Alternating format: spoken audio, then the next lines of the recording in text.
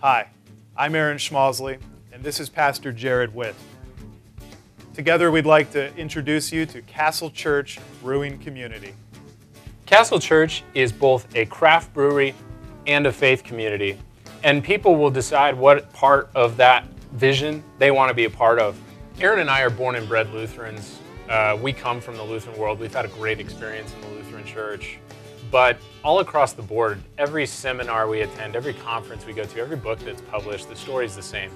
We hear that the mainstream denominations in the US are in decline. Sometimes it's said that they're dying.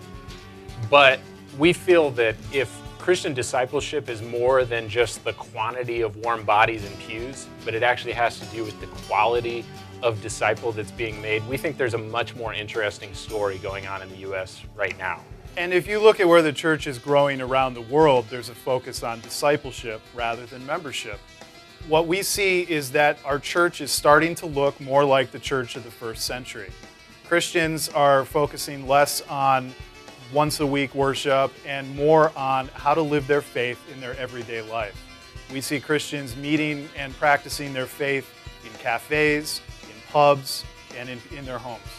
We have an opportunity to do what at Castle Church we've started to call experiments in gospel, uh, research and developing the ways in which uh, we best fit the way of Jesus into our daily life patterns.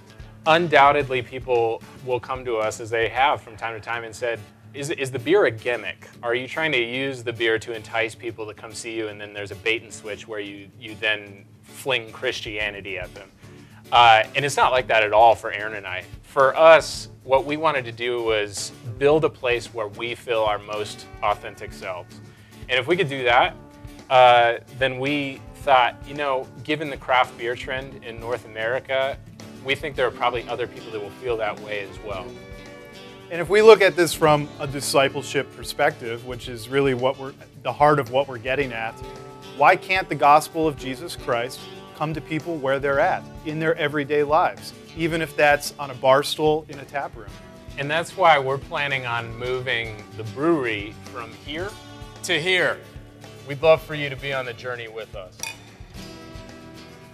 Our team at Castle Church has put together a pretty exciting development campaign so that no matter what your capabilities, everyone is able to get involved. Check out our website, castlechurchbrewing.com click on development, you'll see all the options available for how you can support. If you want to keep up with Castle Church online, go to our Facebook, Castle Church Brewing, uh, Instagram, Castle Church Brewing, Twitter, at Church Brew. We got a blog that comes out every single week where we reflect on faith and life uh, on our website. We'd love you to join the conversation. And we're really grateful for everyone's support. We also recognize not everyone is able to support, support us financially.